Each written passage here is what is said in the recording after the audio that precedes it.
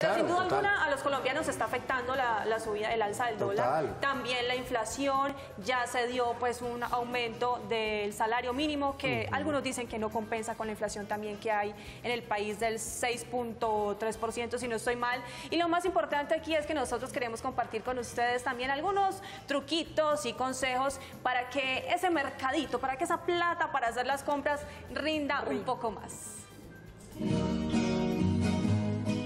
En este comienzo de año, uno de los temas con más importancia en los hogares colombianos es el aumento en los precios de los alimentos de la canasta familiar.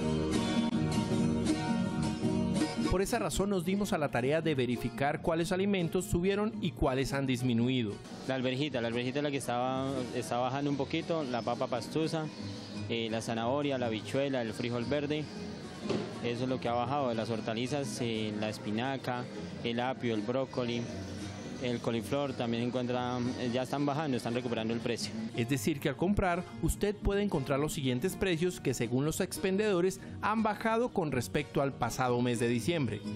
Precios alimentos. Arveja desgranada 2.500 libra. Habichuela 1.000 pesos libra. Zanahoria 1.000 pesos libra. Frijol verde 1.500 libra. Papa pastusa 900 pesos libra. Carne de res 7.000 pesos libra. Carne de cerdo 7.000 pesos libra. Pollo 4.500 pesos libra. Los distribuidores también recomiendan utilizar verduras y hortalizas para enriquecer el menú a bajo costo.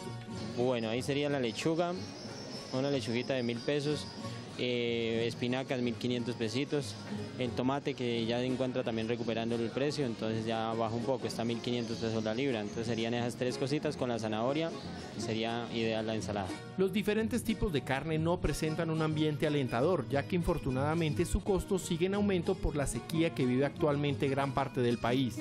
Bueno, en este momento como bajo costo no, no se puede establecer mucho ya que el fenómeno del niño nos, nos ha afectado el costo del, ganado bovino y por si no ha aumentado eh, considerablemente estos últimos meses, eh, igual que el pollo.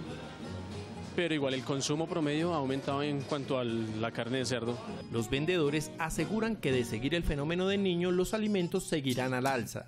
Bastante, bastante nos está afectando y como se está prolongando esto, nos va a seguir afectando porque los costos día a día están aumentando. Estamos hablando de costos de 100 mil pesos arroba de, de res y bueno, estamos también a la espera de, de si nos implementan el IVA, que ahí sí ya nos terminarían de, de acabar, digámoslo así.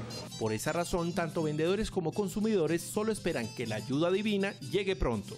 No, primero hay que pedirle a Dios que nos mande agüita, que llegue agüita, eso llega de todo, gracias a Dios. El resto ahí llega de todo todavía.